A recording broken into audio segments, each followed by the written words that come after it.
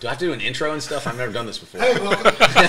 What's up, everybody? Welcome to another edition of the Pipeline Podcast. I am your host, Wes Carter, uh, here with John Felts from Cruz Foam, all the way from Santa Cruz, California. Welcome, John. No, awesome, Wes. Stoked to be here. You guys got quite a place here, so it's it's fun. I'm I'm excited to chat. Nah, we appreciate you guys bringing your whole team over here. Um, this is a really special place, and it's been fun to uh, bring all of the collaborators around New Earth and around sustainability together. And um, we sort of did a trial run last year, but you know now that we're fully mature. It's uh, good to have um, our allies and advocates here, and um, really, really stoked um, to have your team here, and also just incredibly excited about the products that we're going to bring to market together. Um, I know the audience will be really interested to hear about Cruz Foam and this really revolutionary technology uh, of taking an organic material um, and turning it into something that's really functional to replace uh, a really problematic type of packaging. So tell us a little bit about Cruz Foam and uh, we'll get into it. Yeah, let me grab one of these. So, I mean, Cruz Foam at its heart is like you said, how can we understand how to make materials better at the heart of it and do it in a way where we really connect with things that are already out there in existence. You know, there's so much that is just prevalent in nature, prevalent around us every day, that just goes missing, and people just don't understand the potential behind it. There's there's so much potential and so much we can learn from nature and the millennia in which it's been able to figure out these incredibly complex problems that you know we see every day, and just build systems that work within that already created, already harmonized global kind of ecosystem that you see in nature. And so Cruz Foam at its heart, like you said, is really trying to tackle one of the worst materials that I think we, we would all say plastic foams. There is just nothing good about them, except maybe, you know, they perform. But Right. when you look at really where the opportunity lies there, it's enormous. There is so many use cases for what we've built with Cruz Foam and looking at these materials. And it's funny being here and sitting in here and seeing all these people that have come through this house. It's absolutely incredible the origins of Cruz Foam are from surfing. So Yeah. it's, it's absolutely just How about that synergy? hilarious. It's hilarious. And, you know, like the ideation for this came from the ocean. Me and my co founder were sitting out there and we just look at what we're writing and it's just this perfect representation of what could be done better. You know, you're on this board, it's connecting you in this medium of the ocean that, I mean, any surfer, anybody that's been in the ocean knows what that feels like. But it's literally a product that at, at its core is destroying things. Okay, the I had heard this part of the story. You, You actually know? were sitting on a surfboard when you originally had this idea. Yeah, me and my co-founder. We, Okay. we, we, we had a we had a thing that we, we, we couldn't do it once we got to a certain size, but we'd have our board meetings out, out in the lineup. So love it. that only worked until we got about five people, and then a few of them didn't surf, and we kind of were like, well, we can't force them out into the lineup. Right but on. Yeah, it was cool. It was a cool. Well, one of the things I love about this product is, you know, the holy grail when we're looking at circularity is creating a usable product from waste. Yeah. You know, there there are a lot of quote bio-based products coming to market now, but a lot of those bio-based uh, products rely on industrial farming, as an example. Like we're having to grow uh, the materials. This literally is a product, and you tell me, my sense is that's just disposed of. Yep. And so you've taken a waste product that's going to end up in a landfill, most likely, maybe in a compost pile, but most likely in a landfill, and turned it into a really usable product that when that product's use case is done, it will decompose right back into organic material uh, like the way it started. So, like, how uh, how did you harness that? I mean, Yeah, wh- where, where did the shrimp casings come from? I mean, was that divine intervention? That- like a strike of lightning? Shrimp casings, that's what we'll use. It, it feels like that sometimes. I, I, I think you're, you're spot on. You know, when you look at how we're approaching Cruz Foam and the materials and the technologies, it's understanding that circularity. It's understanding that you can't just have a siloed view of like, this will fix the waste problem. But it's where are we getting those materials to make that product? How are we manufacturing that product? How are we distributing that product? How can we understand that the impact starts at the beginning and comes full circle to the end? And for us, we solely right now only make our materials out of waste byproducts. We're not trying to take anything virgin. We're not trying to take anything that requires higher impact that doesn't already exist from these other processes that are creating these wastes. And that's where we just see such enormous opportunity when you look at so much is unutilized in these industrial processes, just because people haven't just put energy to it. It seems like sometimes. Yeah, I, I can't imagine I'm the first person that's ever thought of using waste products for this, but I think it's understanding the potential of how you harness that in an effective way and understand it's not only about making a material, but you have to take the next step. How do you manufacture it? Sure. How do you scale it? Sure. And then the cherry on the top for me is, you know, yes, it's composts, but at, we've really designed our materials to be earth digestible, to be regenerative. And so, in a perfect end of life, yes, it would go into composting. But say this ends up in the ocean, ends up in your gutter, it's not going to do any harm. Sure. It'll be gone in a month or two. And the idea is there's an optimal path, but even in its worst disposal, it's not detrimental to any of those ecosystems. So in the early days of Cruz Foam, you guys were like, let's see if we can make surfboard blanks out of shrimp casings. Is that right? That's a story that I heard. That's hundred percent true. You yes. figured out pretty quickly maybe that's not the best use case for this material, and then quite honestly, pivoting to oh packaging, oh pivoting to packaging is pretty brilliant. That's a lot bigger market, first of all. Um, uh, but I, have really been um, really blown away at the potential for this product. Um, I remember when I first got introduced to you guys, um, actually through an investor friend of mine that's like, hey, I've heard about this company out on the West Coast and they're doing something really, you know, prolific and you should check these guys out. Um, and this was probably five or six years ago. And then when you guys came to Charlotte to our Solution Center um, this fall, I was stunned at the progress you guys have made. So tell us a little bit about that whole R&D process because Oof. from where you started to where you are, you obviously had a lot of time and energy and really talented people yeah. working together to bring these products to market.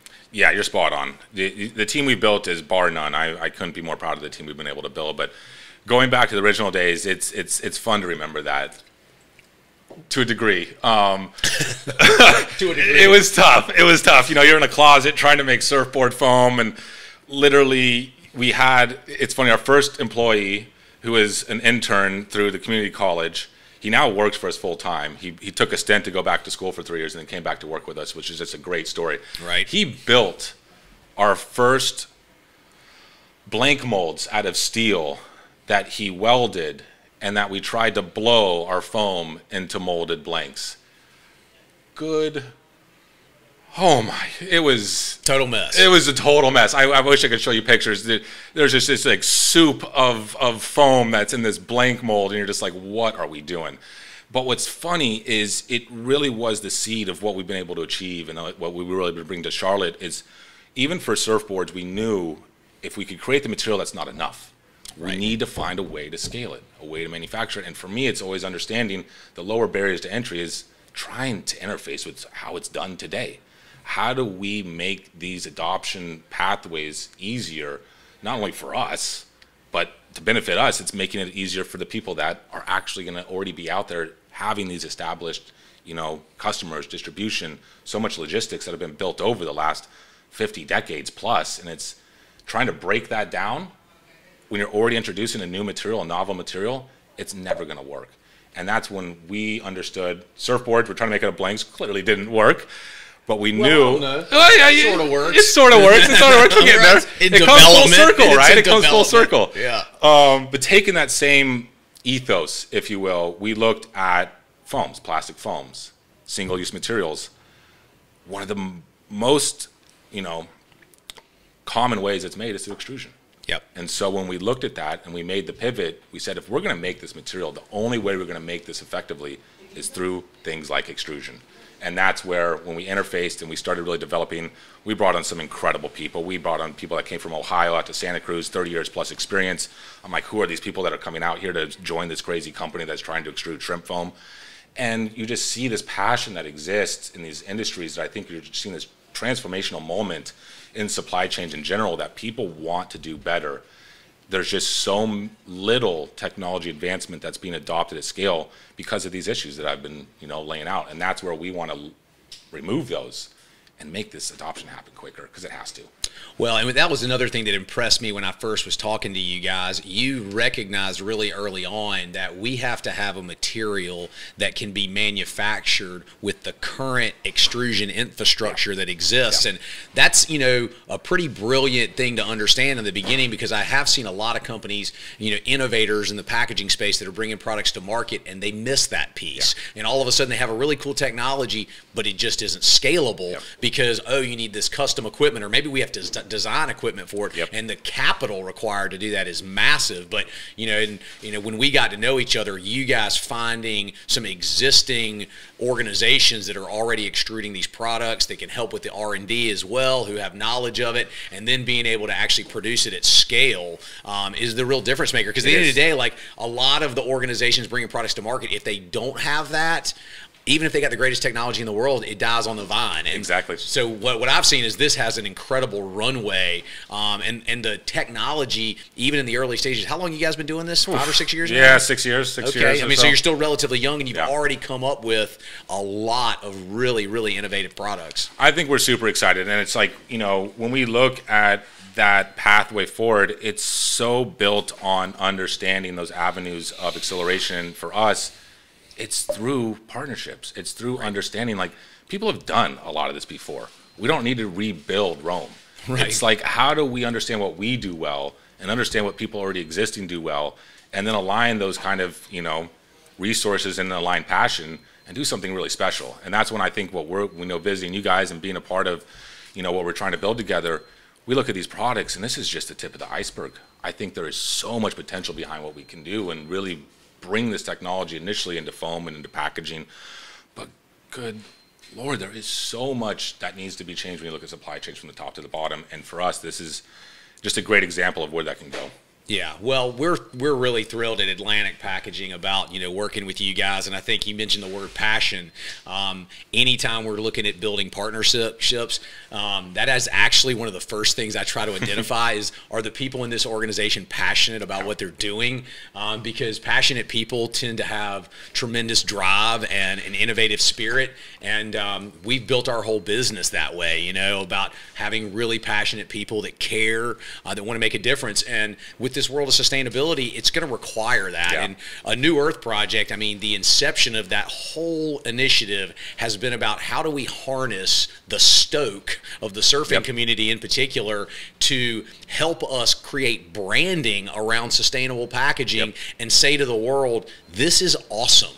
Let's stop looking at these transitions as something that we have to do, and let's start looking at it in some, the things we want to do. Yep. Let's celebrate these changes. Let's talk about how amazing it is that we now know how to make foam out of shrimp shells, you know, and let's look at every application imaginable where that's a viable product, Yeah. you know. And so um, the culture of Cruz Foam really matched up well with Atlantic, and you know we're really thrilled that you know here in the coming months, you know, uh, our two organizations together are going to be bringing these products to market, and you know we've talked a lot about the different verticals, whether it be appliances, electronics, you know, cold chain, which is shipping, you know, refrigerated type meals, um, mailing solutions, um, sort of the sky's the limit. Anything that requires protective foam, um, and to your point, I, I think there's opportunities to even come up with some things that we may not have thought of early on uh, as we get some experience with this. But you know, yeah, I mean, let's hear it from the other side. Talk a little bit about what you guys' impression was of our organization and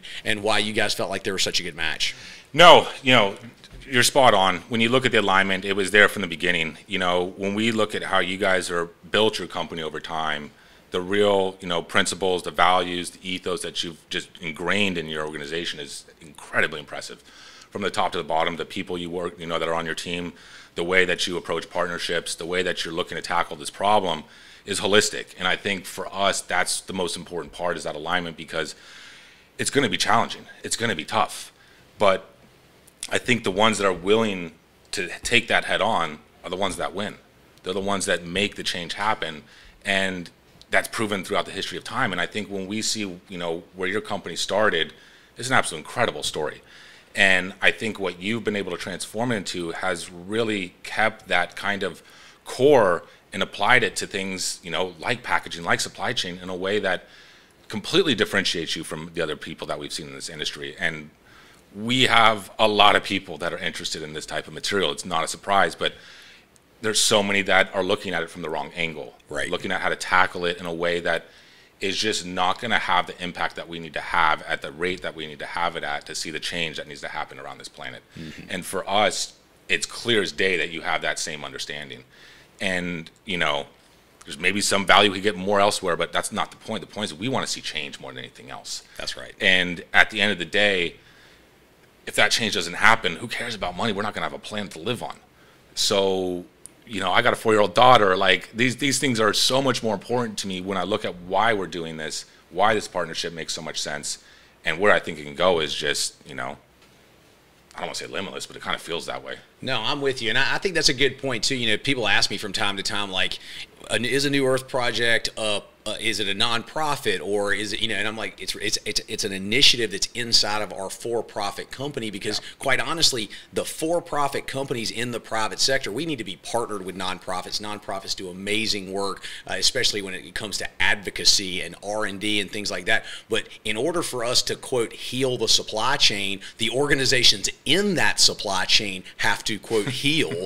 And you know this is a great product you know that's or a great example of a product that when you you look at EPS foam as an example, everybody who's ever gotten a washing machine or a TV, that white EPS foam, it does work, but it is not recyclable. No. It sure ain't compostable. No. And if it ends up in the environment, the things that I the things that I've read said it never decomposes. No. Like it's there forever. Yeah. You know, and so it, it is you know, when you're looking at products that we need to replace, it is right, you know, it is number one on the list. And now we have a product that we can continue to innovate for a lot of applications that have used that before. So uh, again, you know, for us at Atlantic, being able to be an activator of hmm. innovators like you, and that's really how I see it. You totally. know, is to be able to activate innovation uh, and help bring it to market um, is the perfect partnerships for us. You're so spot on, and I, you know, when you talk about EPS and these films, it's it's that's one of the reasons we were so drawn to attacking this problem. Is you know, surfboards was obviously the ideation behind it, but when we saw just what had been developed over time around how this material has been utilized, there's certain things you're just like, why is this what it's being used for? And how is this the solution that was arrived at when you look at the progression of, you know, basically the growth of products, e-commerce and everything. And I think over the last year or so, two years, COVID and everything, so many more people are buying things online, things you would never buy online. And I'm not the only one. I'm sure I've chatted with, I can't count how many people. You buy one piece of furniture, one TV, all of a sudden your entire trash bin, everything you have is just overflowing with EPS. So now you can't even throw anything else away. That's right. And then if you did want to throw it away or anywhere, there's nowhere to take it. There's I was telling this story to to um, some of my team earlier this week. There's one quote unquote recycling machine in Santa Cruz for EPS.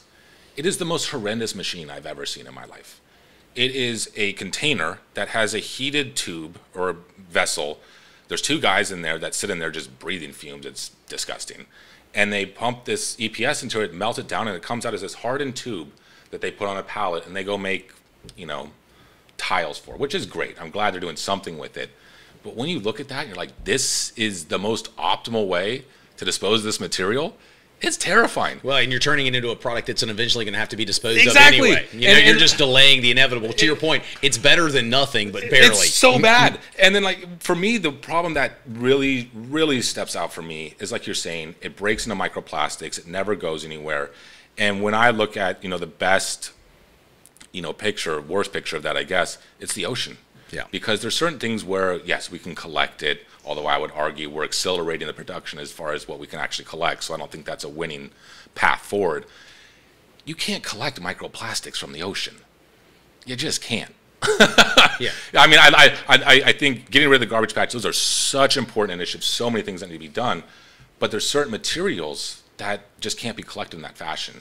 EPS, styrofoam, so many things that are just littered out there will never be removed ever.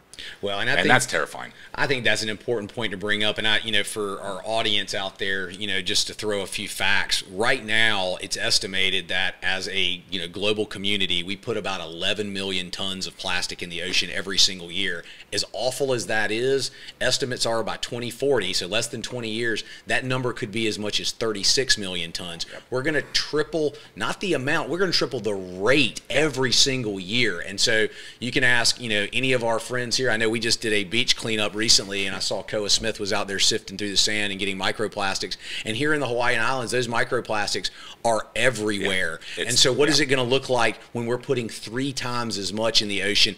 and this is not way off into the future. No. You got six year old daughter. I've got nine yeah, year old. happening now. Our children will will will bear the brunt of what this is going to do to our, our, our ecosystem. And it's one of the reasons that I do feel like there's tremendous urgency Yeah. to the work that we're doing. Um, and you know, I, I also think that products like this and partnerships like this are a move in the right direction because this is a way to celebrate a really important win. And you know for people to adopt these products you know this this you know this has to be a moon landing for our generation. And to me Cruz Foam i mean this is a space shuttle to the moon. Yeah. um, so really really excited about what the potential is. And um, you know as as we're closing up here tell me a little bit you know because we are here at the pipeline studios um, you know with uh, the famous uh, pipeline wave uh, in in the background and we're hoping to see some really uh, prolific and amazing surfing in the next few days what is the influence of just surfing in the outdoors on all of this do Oh, you think goodness. that do you think any of this would have happened without No. surfing Without it, no. I I I've always been tied to the ocean my entire life, but there was there was a moment in my college years where I lived in Santa Barbara, and you know I lived basically on the beach and I was surfing every day. But I I, I look back and I, I I went into college and I did my I did it chemical engineering is what I did my undergrad in, and I went in thinking I'd be a petroleum engineer. Which is absolutely hilarious to You went- you went the other direction. It is absolutely hilarious to think about. I thought I'm going to go in there, I'm going to be a petroleum engineer, make tons of money, I'll be happy. How wrong is that perspective? I mean, at least I had that realization, and it happened my junior year. I had a pretty life changing moment where my mom had a stroke, and, and, and it kind of redefined my, you know, core drivers, if you will. And it was just this time period where for me personally, it was so transformational, and the medium which really spoke to me and, and, and helped me develop that, that clarity was the ocean. Hmm. And, and really, what it built was this connection where I thought, it's a weird thing to say, but the, the answers are out there. And it was a personal answer I needed at the time. Sure. But it developed over, you know, my early career and then meeting Marco to have that realization of understanding like nature offers us so much and I think the ocean is probably by far, in my opinion, the greatest representation of that. Not only it's obviously the largest mass, you know, on, on the planet, but there's so much unknowns about it. Sure. There's so much to be discovered about it, which just fills me with excitement that I can't even like fully contain. And it, it just brings this, you know, as the case study where this is just the, the tipping point where I think, you know, nature can take us. And is if we follow nature and if we really align, you know, the longevity of the human, you know, the human race with with what really needs to happen and that that that transformation, it's going to be a special time period to be involved with. And I think for us, we just want to make it happen sooner. Well, I mean, well, well said. I mean, it's really appropriate, you know, at the birthplace of surfing where we sit today. And, you know, we've talked a lot, you know, over the years about really what this is, is a return to indigenous knowledge. And if you, 100%. if you listen to the history of these islands and the people who inhabited these islands, they understood balance. Yeah. They understood how to harness the power of nature.